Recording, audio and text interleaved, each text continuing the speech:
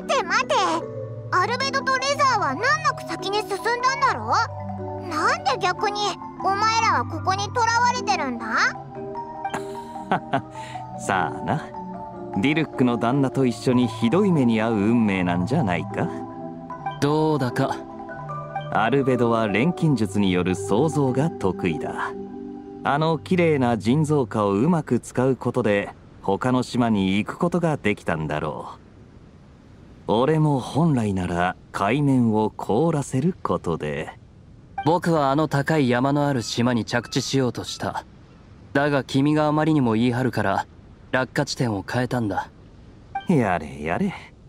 俺が元素力を振り絞って海面を凍結させてもお前に溶かされちまう。氷と炎の中ってやつ？お前の神の目が岩元素だったら俺たちとっくに他の島で昼寝してただろうに。じゃあさっきのは妖怪反応で出た水蒸気だったってこと？仲がいいんだか悪いんだか。ととりあえず賑やかになったってことでいいんじゃないかな？